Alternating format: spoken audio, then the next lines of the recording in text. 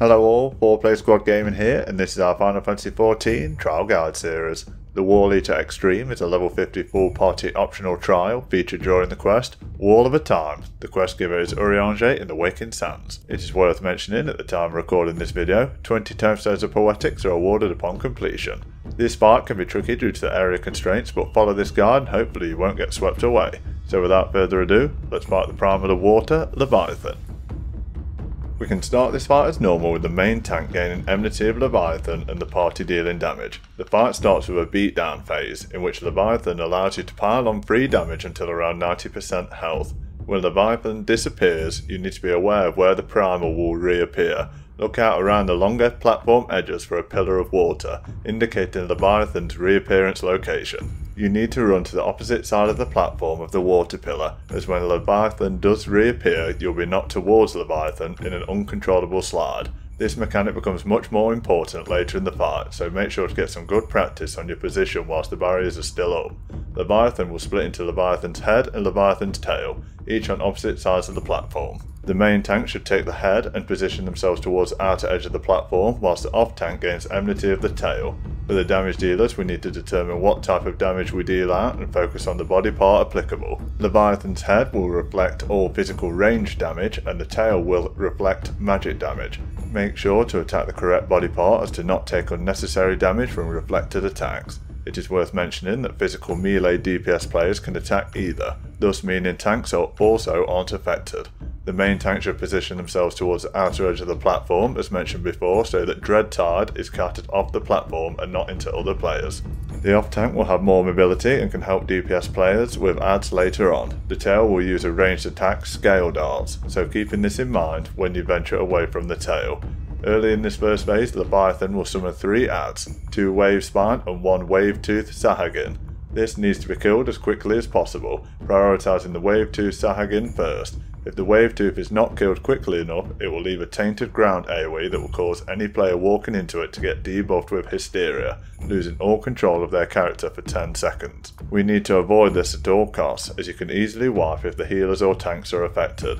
The healers will also need to be careful when healing off tank during this fight, as the off tank will be debuffed with Briny Mirror. This debuff will cause any player that casts a healing ability on the tank to receive a stack of Briny Veil, this stackable debuff will render that player completely unable to act when the stack reaches 16, so efficient spell management is required. A top tip is that Regens, Stone Skin and Scholar Pet abilities do not stack Briny Veil, so use these as much as you can. You can choose to tank swap to minimise the debuff, but just be mindful of your healing abilities and you shouldn't reach the 16 stacks. During this first phase and throughout, Leviathan will also use Aqua Breath, a single target attack dealing low damage, and Tidal Roar, an area-wide ability dealing low damage, and finally, Water Spout. This multi-target AoE will only focus the healers, so make sure to spread out away from other party members, including the other healer to avoid overlapping stacking damage. Heal through these attacks as necessary. After the first set of ads are killed, four Gyre Spumes will be summoned at each corner of the platform. These will need to be focused and killed as quickly as possible, as they will reduce the elemental conversion bar needed to survive Leviathan's wipe ability. You can see how much elemental conversion power you have here.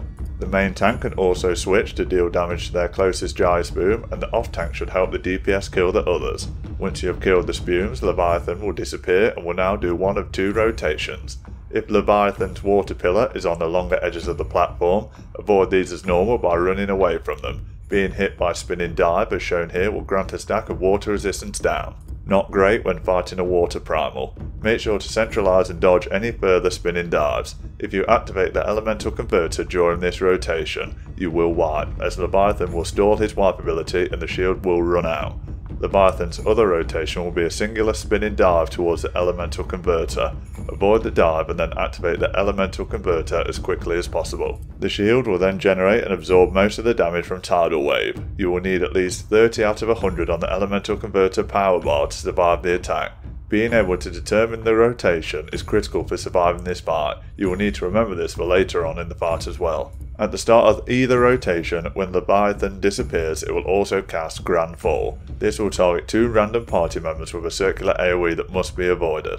This multi-target AoE deals moderate damage and inflicts anyone hit with heavy, making it more difficult to avoid the spinning dives and body slams. Grand Fall will target the same players for 3 balls, so make sure to avoid other players and count the AoE circles away from them. If you have survived Tidal Wave, get ready for Phase 2 with no barriers for safety.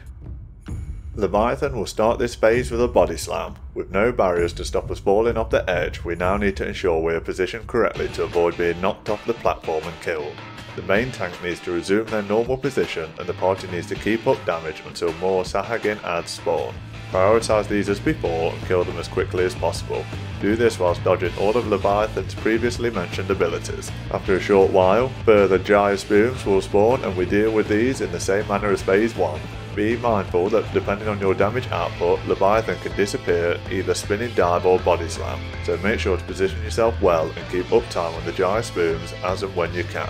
In this phase, Leviathan will also summon 4 wave spumes. These spumes need to be kept alive and kited around the area by whoever they are tethered to, or get the off tank to pick them up, using cooldowns to reduce the damage from them. Doing this whilst also dodging grand falls, spinning dives and body slams can be very tricky, and this is usually the phase where parties will whine. Focus more on where Leviathan is rather than the spumes, and pick up the Gyre Spume DPS check damage and Wave Spume kiting after Leviathan has knocked you around. You put the damage on Leviathan and the wave spumes will pop after a short time.